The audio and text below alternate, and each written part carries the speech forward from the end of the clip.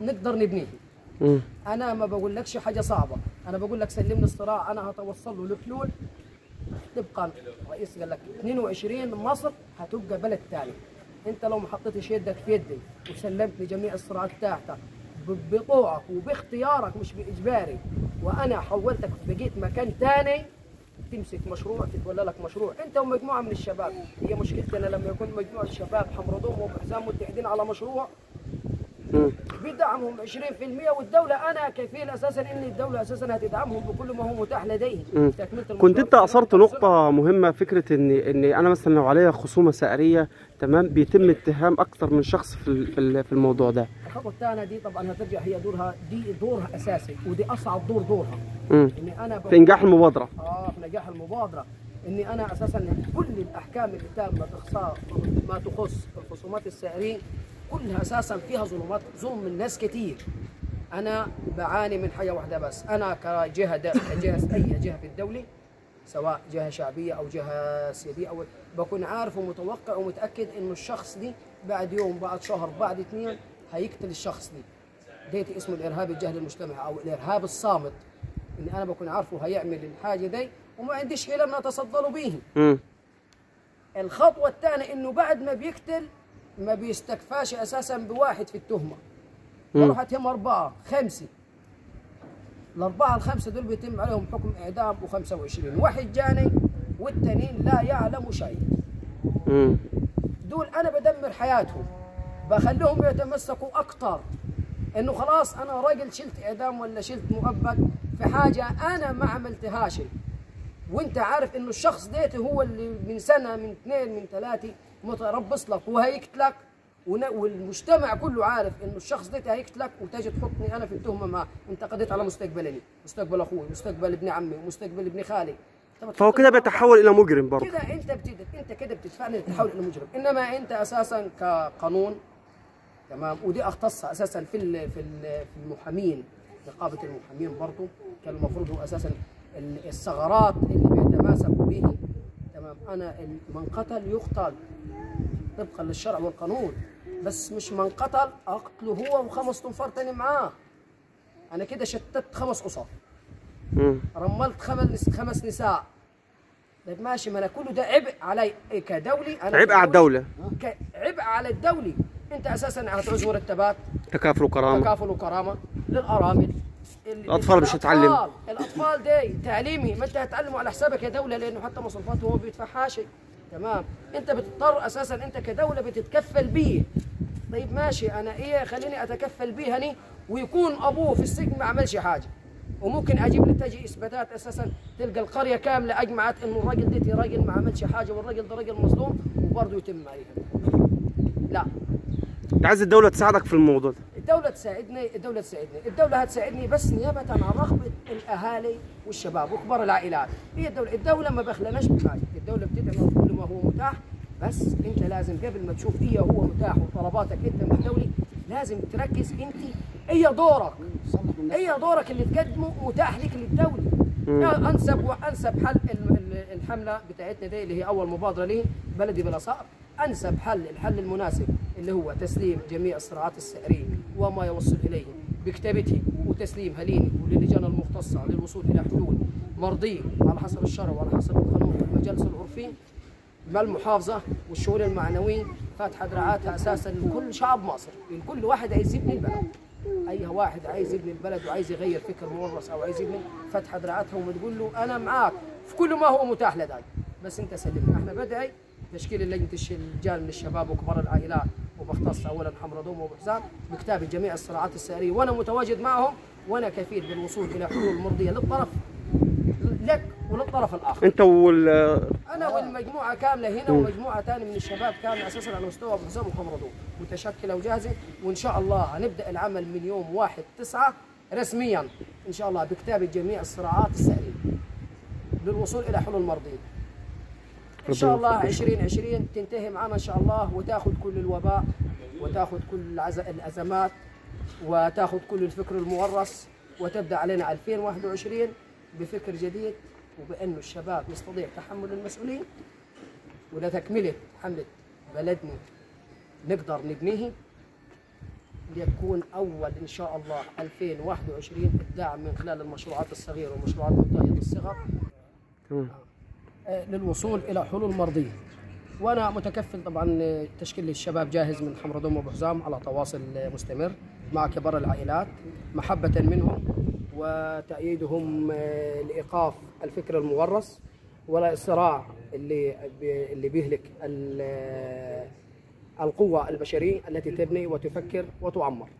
ال- الخطوة الأولى هي مبادرتنا مبادرة بلدي بلا صعب.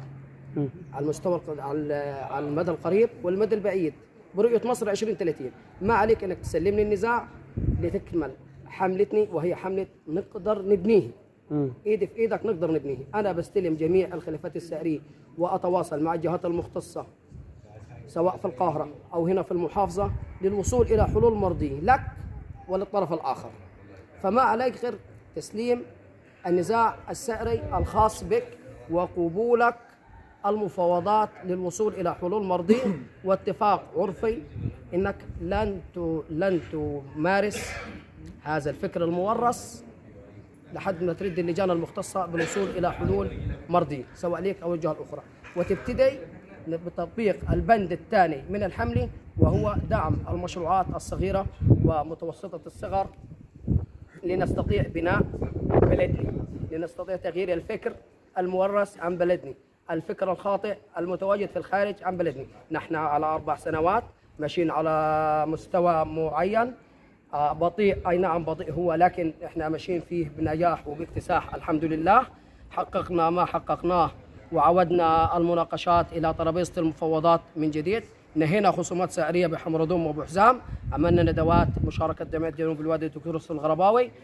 عندما اكتمال مبادرة بلدي بلا صقر سيظهر تنمية الصعيد الحقيقية لأنه هي تنمية الصعيد الحقيقية تبتدي بالتنحي عن جميع الصراعات سواء صراعات سعريه أو صراعات عرقيه أو صراعات دينيه والعمل من أجل الإنتاج والتنمية فقط. ام حمرضوم وابو حزام فيها كم؟ آه حمرضوم وابو حزام فيها كم خصومة سعريه والقرى اللي حواليها حمردوم وابو حزام والقرى المجاورة لها فيها ما يقارب ال 50 خصومة سعريه مم. انت بتعمل إيه أو دوركم ك... ك... ك يعني ككبار عائلات أو قبائل بتعملوا إيه عشان تشتغلوا على ارض الواقع وتنهوا الخصومات دي الخطوة الأولى طبعا إحنا بنتواصل آه، بنتردد على المضايف وبنتواصل مع عائلات أطراف النزاع مم. المتضررين مم. أولا فيما يرضيهم. في الأضرار التي حلت إليهم ولأنه لا أضرار تعوض عليهم.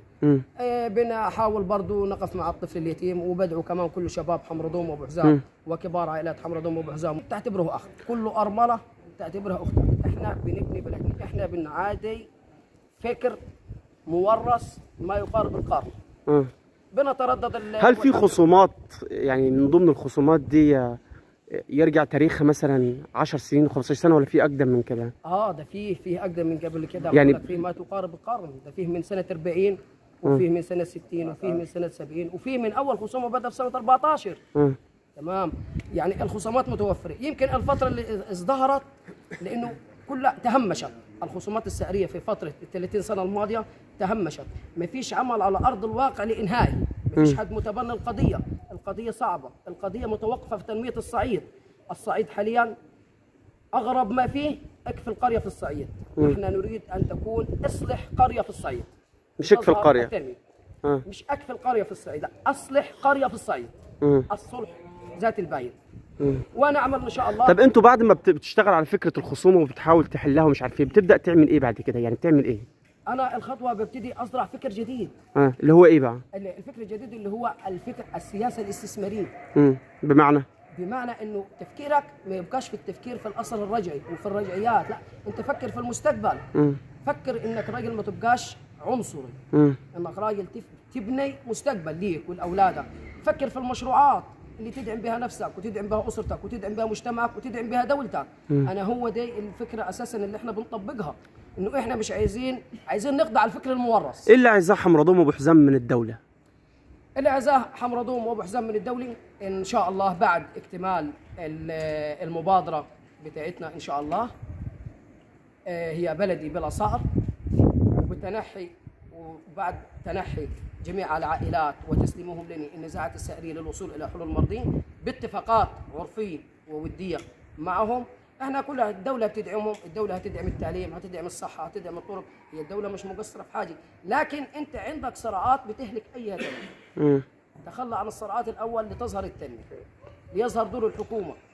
ليظهر دور المجتمع. سلم الصراعات. ابتدي فكر تكملة اللي حملتني. تكملة اللي حملتني. سلمنا الصراعات لنخش من البند الثاني وهو تشكيل لجان من الشباب لدراسة جدوى المشروعات الصغيرة والمتوسطة ومنتهية الصغر. لدعم الدولة عليها يعني نفسك تشوف في حمرضوم وبحزام مصنع في يوم من الأيام؟ أنا نفسي أشوف في مصنع وحاليا بعمل برضه وإن شاء الله يعني فيه شبه اتفاقات. بيكون هيكون في مصنع حتى لو ترخيص مؤقت لمدة خمس سنين لتهيئة حمرضوم وابو حزام للمجتمع. مم. إحنا بنطالب برضه بمصنع ولكن إحنا في أضرار. أنا ما أقدرش أثبت ورق مصنع أو ورق أي أعمال تكون داخل قرية أبو حزام وأنا مش عارف أجمع شباب أبو حزام وشباب حمرضوم مش عارف أجمعهم على فكر موحد. مم. لازم أجمعهم على فكر موحد اولا وهو فكر التصدي للصراعات وللفكر المورث والبدء من جديد في حياة جديدة لبناء المستقبل وبناء وبناء الأجيال القادمة. هل ظاهرة السلاح اختفت من الب... من القرية دي ولا لا زالت؟ هي اختفت ظاهرة السلاح بتوا- بالتواجد الأمني وربما فيه تواجد برضو يعني بنسبة بسيطة لظاهرة السلاح. ولكن آه، الأمن آه، قائم يعني بشغل يعني صراحة لم نتوقف في الثلاث سنين الفاضية الماضية. ال- الأمن كان متواجد معنا وعمل إنجاز معنا لم يتحقق في القرن الماضي باكمله على المستوى الخدمي. ال- المستوى الخدمي البلد عايزة إيه؟ البلد إيه؟ عايزة إيه؟ إحنا البلد حاليا إحنا الخطوة جديدة إن شاء هل الله. في وحدة صحية؟ في آه، في بريء؟ واحدة صحية. أما أنا بقول لك أنا أساسا أنا لازم أساسا الفكر البناء هو إنه إحنا كنا نتحد كنا على فكر واحد. إحنا لازم نتحد لازم نتصدى الفكر المرس عشان نجيب الخدمات اللي ناقصانا. ما أنا عمري ما هديك أنا كدولي عمر الدولة ما تمدك بخدمات وأنت وراها تخربهم. انت لازم أساسا تصلح نفسك الأول. لازم تبتدي تفكر في في النهارده وتفكر في بكرة وتفكر فيه وفي ابنك وفي مستقبلهم وفي مستقبل أولادك. لازم تفكر الدولة هتبقى معك الدولة بتدعمك بكل ما هو متاح لديها. ولكن قبل ما تطلب الدولة بكل ما هو متاح لديه اعمل اللي عليا. تقدم لها أنت كل ما هو متاح لديك. كل ما هو متاح لديك. والمتاح لديك مش حاجة صعبة. إحنا كشباب أبو حزام وشباب حمردوم والقرى المجاورة الإسنية والحمدية والعمرين والشعنية وبقية القرى المجاورة متجاوبة في الفكر ديتي. وإن شاء الله إعلاننا مبادرتنا بلدي بلا صقر دي هترجع اعتماد إن شاء الله على الوعي اللي إحنا نشرناه خلال الأربع سنوات الماضية ما بين شباب في شباب أبو حزام وشباب حمردوم إنه إحنا هنشكله من نفسين من نفس شباب القرية وكبار العائلات تاعتهم هنشكلوا لجان تكتب جميع الصراعات السعريه والاتفاق مع جميع العائلات كبار العائلات. أنتوا ككبار عائلات وكقيادات هنا في البلد تمام؟ هل أنتوا شايفين ان ان ان, إن, إن الدولة مثلا زي وزارة الشباب والرياضة هل المفروض ان هي تكون معاكم في المحفل ده؟ نعم. يعني أو تكون إيه إيه اللي هي المطلوب منها تقدمه لكم عشان خاطر تساعدكم في ان المبادرة دي تنجح وان حمردوم ما يبقاش فيها طار خالص؟